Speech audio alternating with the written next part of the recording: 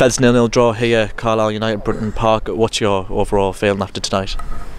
Um, it's a point, another point closer to where we want to be. Um, probably not the performance that we, we wanted. Um, still created two probably good chances to, to win the game, especially the one late on, or the two late on, the double save from the keeper. So um, we'll take the point, we'll move on to, to Saturday. But um, after such a good performance against Bristol at the weekend, probably disappointing performance tonight. Is it frustrating being you know in that midfield when you know Carlisle sitting in two banks of four, uh, struggle to really break them down and find them gaps? Uh, no, our team we've we've played against teams before that have, have camped in. We've got to find a solution and a way to to open a door, I suppose, um, and create more chances. We didn't do that until late on tonight, um, which sometimes it takes. We're away from home. Sometimes we have to be patient in that, but um, like I say, a good point on the road. Um, only our second draw of the season away, probably fifth point of the season as well. So you've got to take the positives from that, um, but just a little bit disappointing how, how we didn't create more chances.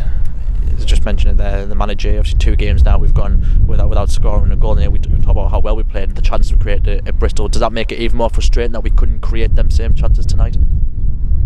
Um, yeah, it's always disappointing when we, we don't create the, the chances, but if you if you take a look at the, the last two games, um, maybe the Oldham game um, as well, probably created enough enough in all three games to, to win the game. So as long as we keep creating, we will eventually take these these chances. Um, it'll be a worry in a few more games' time if, if we're still not scoring goals, but like I say, it's a positive that we're, we're creating chances. I think Saturday we've created enough to win two or three games. So. Saturday back at the Suit Direct Stadium against Stevenage, you know, with the home fans, that confidence will be high. If you come out at the end of this week with four points, is that overall a good week? Yeah, I think if you'd have said um, from these two games, if we take four points, I think we, we'd take that.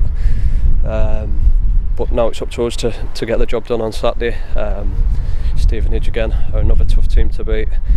So, um, but we'll be looking to get the fans behind us at home and hopefully we can score a few goals.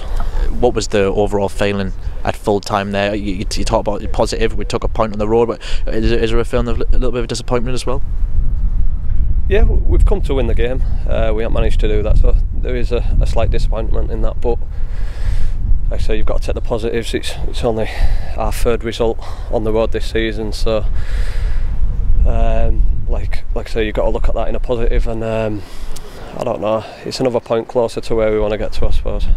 Players, and just finally, as players, when so many games coming thick and fast, the Saturday, Tuesdays, we're going to go to Stevenage, Exeter, Palace. You know, how does does the fatigue ever play in, in Charlton as well? Yeah, next Tuesday, does the fatigue ever come into that, and, and just the the continuation of all them games so quick and fast?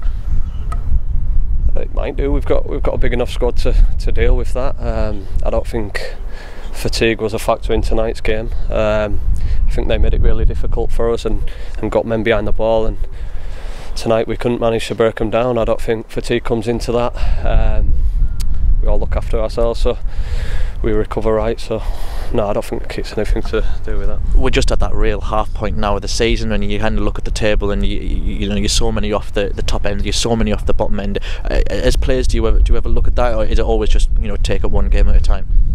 No, you're aware of the league table, and obviously you, you want to be looking up rather than down. Um, we're not in a bad position now. We're in the fourth round of the FA Cup for the first round in a uh, for, for the first time in a, a long time. We're in the uh, quarterfinals of the Papa John's we're mid-table in, in League Two, back in the Football League. So I don't think it's a bad start. I think it's just a, a tricky couple of couple of fixtures we've had recently where we haven't managed to score goals and I think when you, you don't score goals that's when people become probably a bit more worried than than you need to be at the minute. But um, like I say if we want creating the chances then then that's a worry but we are and we will score goals. Thank you. Thanks very much